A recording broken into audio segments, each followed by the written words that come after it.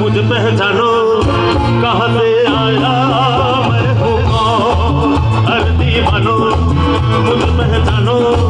कहाँ से आया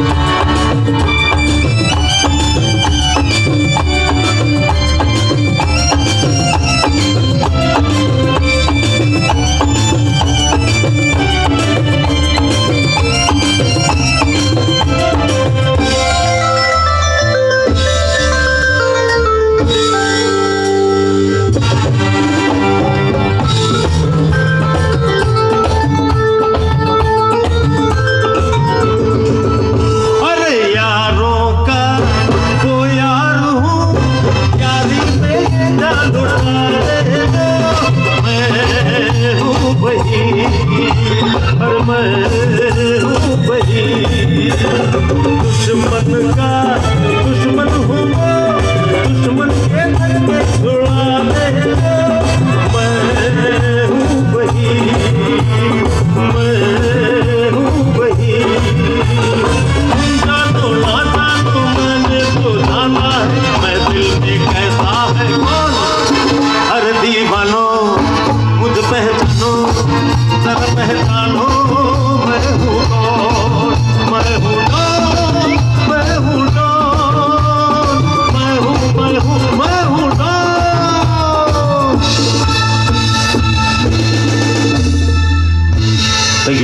क्या बात है एक बार जोरदार तालियाँ।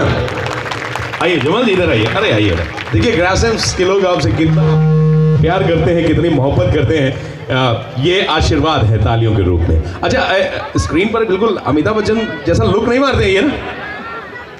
यार आप अमिताभ देखिए कितने प्रशंसक हैं। मैं आपको बता दूँ ये मुंबई जब गए थे समीर रंजान जी का शो करने के लिए वहाँ पर पर्सनली अमिताभ बच्चन जी अ, खुद हैरान हो गए थे। सत्तर के दशक के अमिताभ बच्चन ऐसे ही थे। तो अभी तो बहुत सारा आनंद और बहुत सारा मज़ा आने वाला है। कैसा लग रहा है आज आपको यहाँ पर आकर बहुत अच्छा लग रहा है और सबसे बड़ी चीज़ ये है कि यहाँ पे इतने अच्छे अच्छे ऑडियंस है और उनको प्यार मिल रहा है।